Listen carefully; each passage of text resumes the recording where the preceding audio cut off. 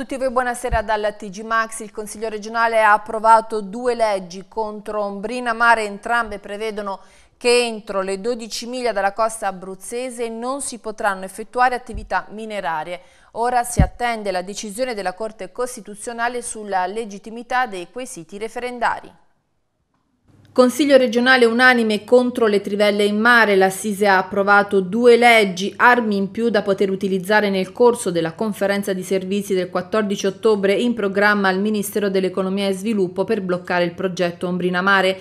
Soddisfazione è stata espressa dall'ex assessore all'ambiente Mario Mazzocca che in aula ha sfoggiato la bandiera no ombrina. Non solo un simbolo ma un, una sostanza, ovvero la voglia di voler affermare in tutti i modi possibili e consentiti la volontà di un territorio della nostra regione di eh, scegliere il proprio tipo di sviluppo, che è quello improntato a, a criteri di reale sostenibilità. Una delle due leggi porta proprio la firma di Mazzocca insieme al consigliere Pietrucci e ristabilisce il limite delle 12 miglia marine per le attività di ricerca ed estrazione di idrocarburi, limite già sancito dal decreto Prestigiacomo. Questo ci consente di eh, proseguire la strategia che noi abbiamo avviato con il manifesto di termine che si è concretizzata con la presentazione del referendum, ovvero eh, in sede già da subito, in sede di conferenza dei servizi il 14 ottobre prossimo al Ministero, noi porteremo questa legge approvata, vigente, in quanto abbiamo votato anche l'immediata esecutività, con cui eh, consentiremo alla Corte Costituzionale di avere il tempo necessario ad esprimersi nel merito e quindi se come noi ci auspichiamo i quesiti vengano ritenuti legittimi, a esprimerci attraverso i quesiti referendari. Credo che sia un importante risultato e credo che l'intera nazione, perché poi alla fine siamo dieci regioni, ne possa andare orgogliosa. E sempre all'unanimità il Consiglio regionale ha approvato la proposta di legge presentata dal Movimento 5 Stelle che sarà presentata in Parlamento. Anche la proposta di legge che prevede l'abrogazione di alcune norme dello sblocca Italia e del decreto sviluppo reintroduce il limite delle acque territoriali.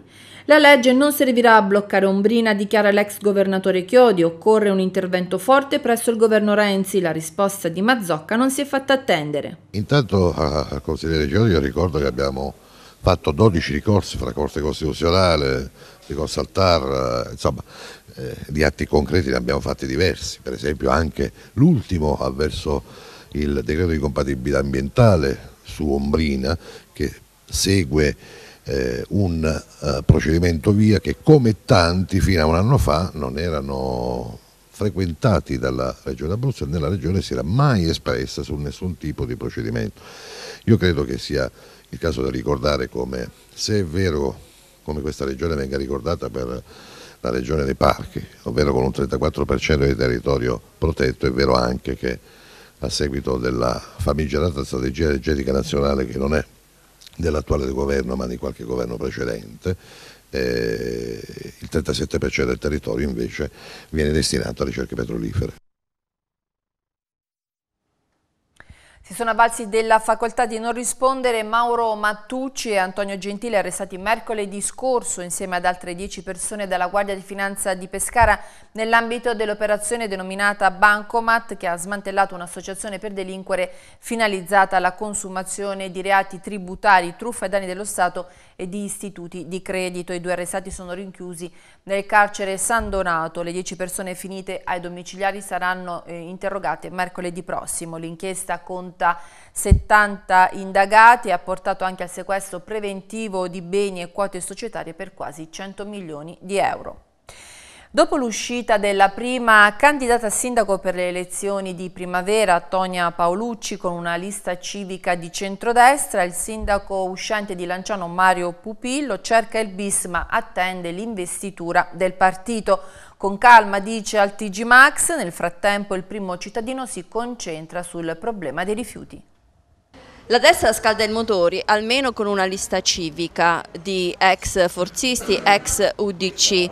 Il sindaco Mario Pupillo, sindaco uscente, come si sta preparando alle prossime elezioni comunali? Con calma, con molta calma. In questo periodo siamo molto impegnati su alcune scelte, alcune progettazioni che stanno arrivando alla fase finale di realizzazione, mi riferisco a alcuni cantieri importanti, alcune scelte che abbiamo fatto come quella di dare all'Ecolan dal mese di dicembre la gestione dei rifiuti urbani che in questo momento stanno venendo, vivendo un periodo di grande criticità con eh, la Camas che eh, proprio l'altro ieri ha subito da parte nostra un'altra infrazione quindi con una sanzione di 13.000 euro. Quindi queste scelte sono scelte importanti che la maggioranza sta vivendo con grande intensità e che quindi non ci permettono in questo momento di disegnare il futuro che tra l'altro è abbastanza chiaro e quindi non abbiamo problemi in questo momento. Quindi Mario Pupillo si ricandida? Direi di sì, sì, io mi sono ricandiderò alla prossima tornata elettorale, ovviamente dovrò chiedere al partito e ai mm, nostri alleati se la mia scelta può essere ancora condivisa. Mi auguro di sì, ma è una cosa che democraticamente le primarie sono nel DNA del, del centro-sinistra, quindi Mm, il centrodestra aspettiamo sempre che le facciano. Insomma.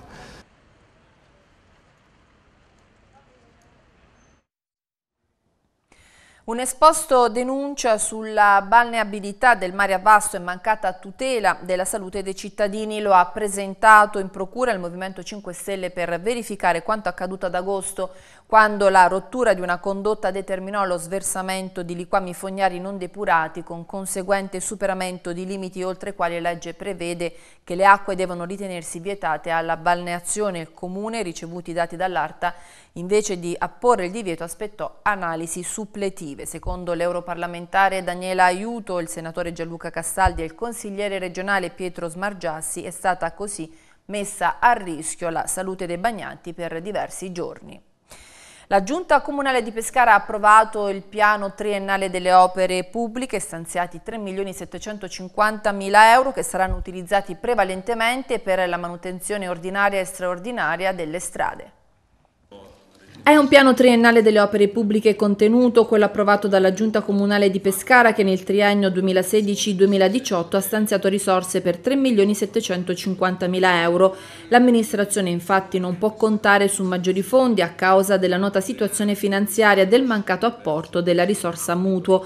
I fondi saranno destinati soprattutto alla manutenzione ordinaria e straordinaria delle strade e al completamento delle incompiute. In sospeso ci sono ancora lavori per la messa in sicurezza dopo le frane dello scorso anno, tra quelli nuovi i lavori anti-allagamento con un intervento a San Donato non previsto nelle precedenti annualità per eliminare i problemi che si verificano ogni volta che arrivano piogge copiose. Il sindaco Marco Alessandrini.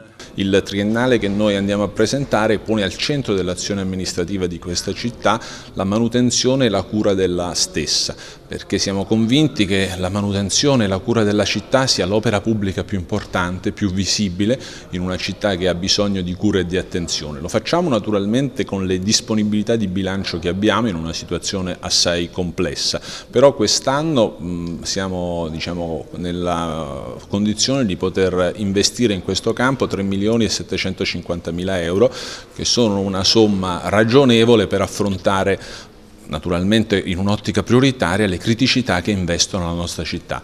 L'ambizione naturalmente è quella poi di poter fare sempre meglio, di poter aggredire sempre più angoli del campo.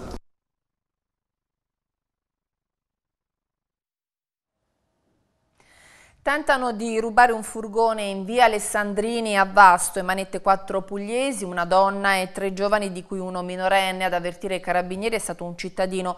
I ladri sono stati intercettati proprio mentre salivano a bordo di un'auto guidata da una complice. All'interno dell'auto era nascosto un piede di porco mentre un'altra chiave alterata, simile a quella trovata inserita nel blocco di accensione del furgone che stavano tentando di rubare, è stata trovata nelle tasche della donna. Ed ora ci spostiamo a Scafa dove una famiglia vive in condizioni a dir poco precarie in un alloggio Ater per cui l'ente chiede canoni arretrati per circa 16.000 euro. La denuncia al TG Max del consigliere regionale Leandro Bracco del gruppo misto.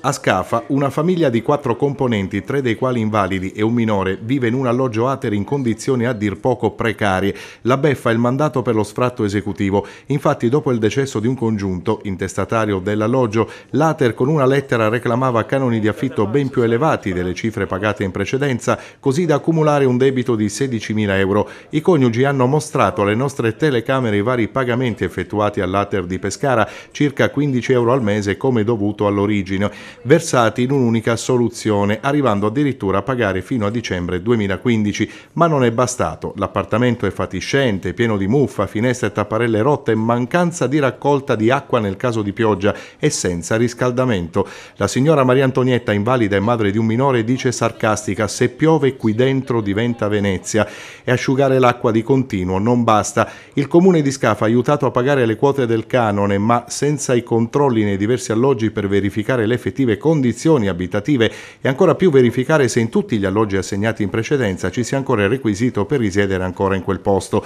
Il consigliere regionale Leandro Bracco sottolinea che si occuperà e controllerà l'evoluzione della vicenda annunciando altri blitz nell'entroterra per far chiarezza sulle assegnazioni e le condizioni degli alloggi in questione.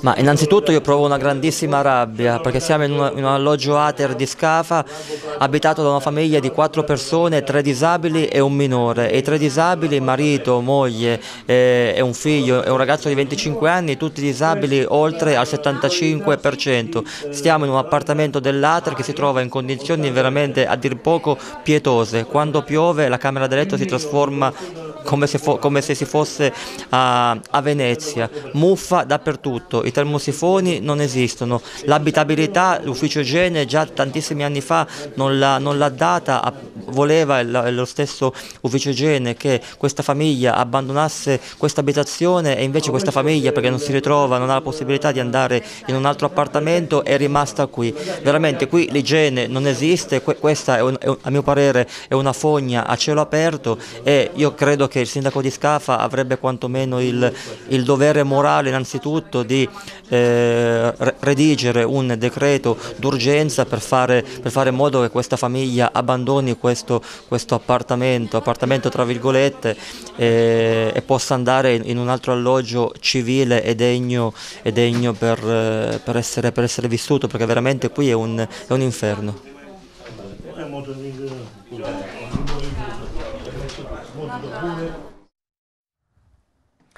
Il centro funzionale d'Abruzzo ha previsto l'arrivo di una perturbazione che porterà piogge intense e temporali su tutta la regione a partire dalle prime ore di domani e per le successive 24-36 ore è emanato un avviso di criticità regionale con previsione di codice arancione, criticità moderata per rischio idrogeologico localizzato sull'intero territorio regionale.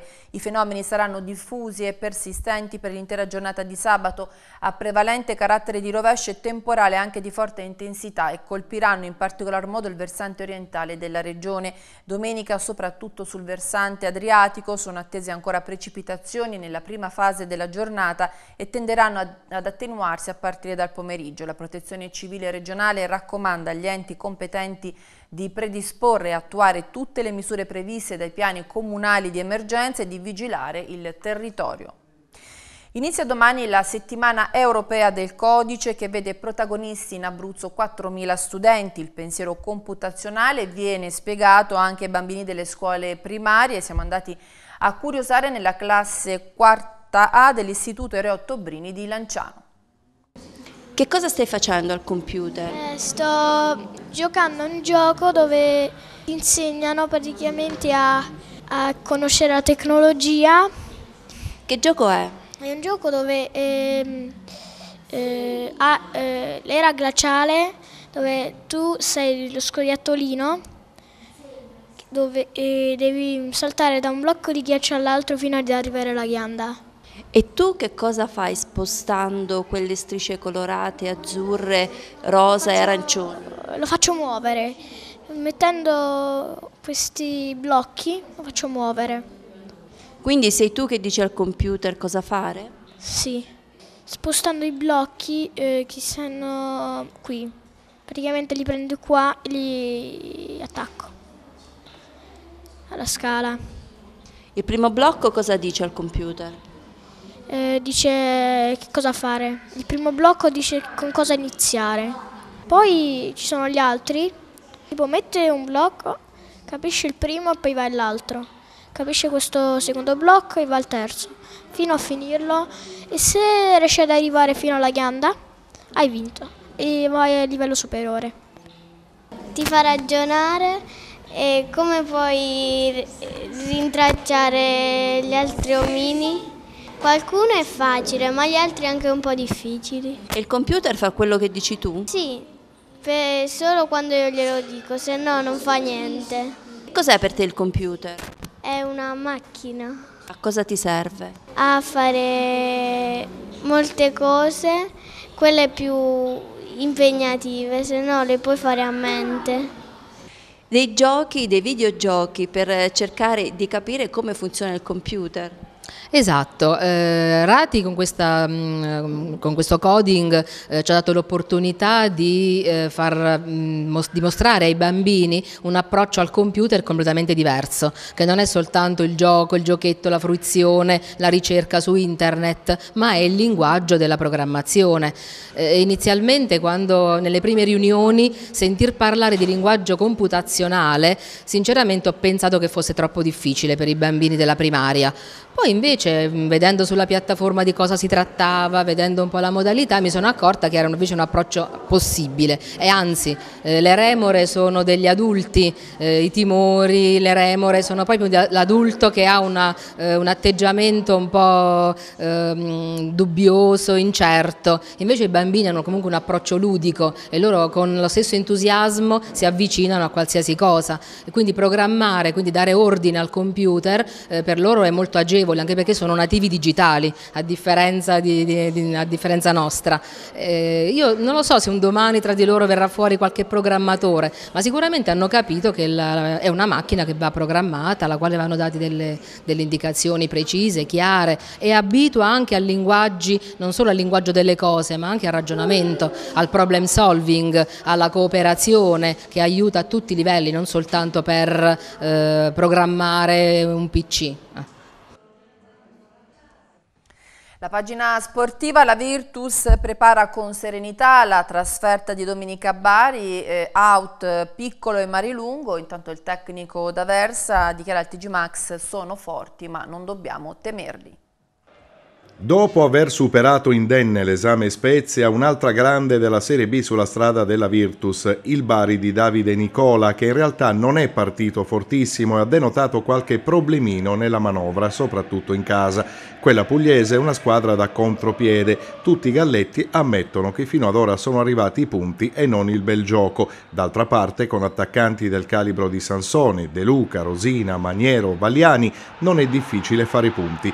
Il Lanciano non ha una tradizione positiva al San Nicola, questo lo sappiamo, resta nell'albo dei ricordi, i brutti ricordi, il 4-3 del primo anno di Serie B con Gautieri in panchina e con i rossoneri che erano in vantaggio per 3-0. L'anno successivo 1-0 immeritato per il Bari, la scorsa stagione 2-0. Beh, sarebbe ora di invertire la tendenza. Per quanto riguarda la squadra, ancora out piccolo, ha fatto bene, verrà riproposto Luca Di Matteo al suo posto pronto a rientrare invece Aridità, anche se forse in porta giocherà dall'inizio ancora Casadei, che all'esordio ha fatto molto bene. Non ci sono possibilità per far esordire l'attaccante Marilungo, se ne parlerà la prossima volta. Invece sta bene Ferrari e Roberto D'Aversa, prima della partenza per la Puglia, dispensa serenità. L'importante è, è, non seguire gli eventi, non farsi trascinare magari da, da, da, dal pubblico, da alcune situazioni particolari, rimanere sempre concentrati su ciò che dobbiamo fare, su, sul fatto di rimanere compatti in fase difensiva, rimanere concentrati, allo stesso tempo nel momento in cui si è in possesso palla di essere sereni e fare un giro palla come abbiamo fatto l'altra volta in maniera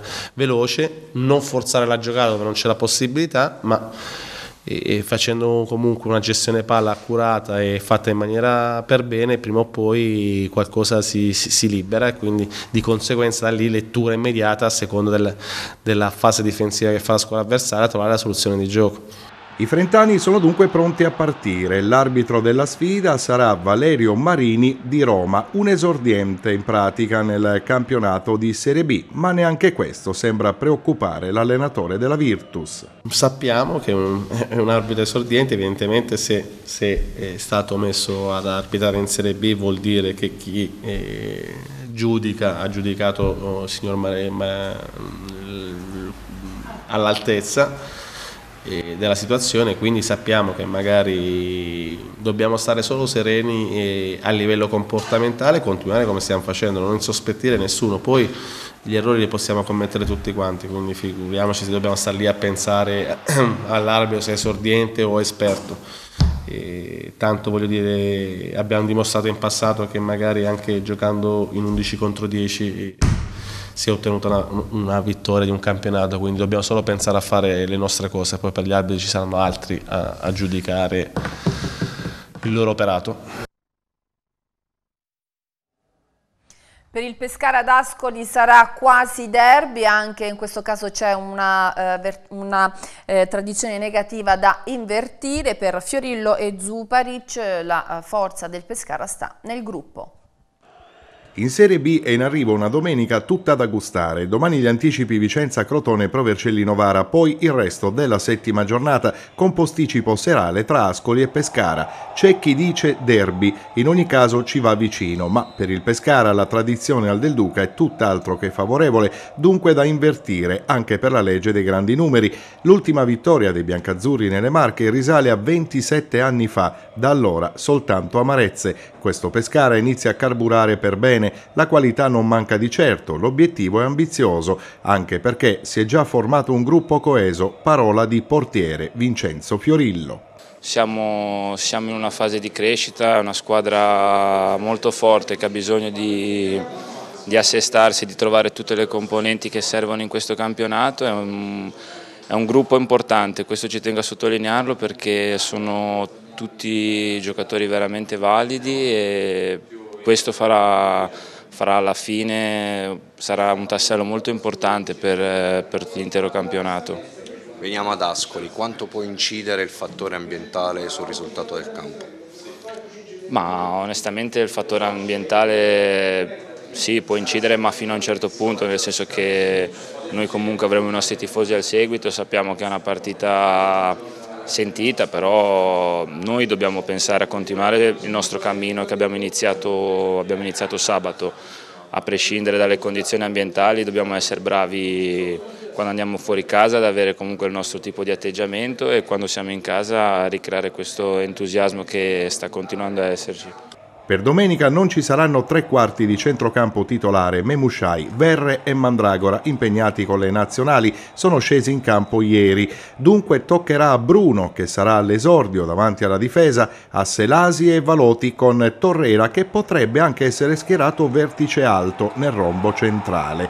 In difesa qualche problema per Zampano, ma dovrebbe recuperare per l'ultimo allenamento di domani. Potrebbe esserci spazio per Campagnaro, ma per una difesa a tre è forse forse ancora presto. Intanto Zario Zuparic, a proposito dell'argomento, è sicuro del fatto suo e spiega anche perché non teme l'attacco dell'Ascoli. Sì, secondo me è uguale, non cambia niente, se gioco contro Ronaldo o Cacia è uguale, devo dare 100%.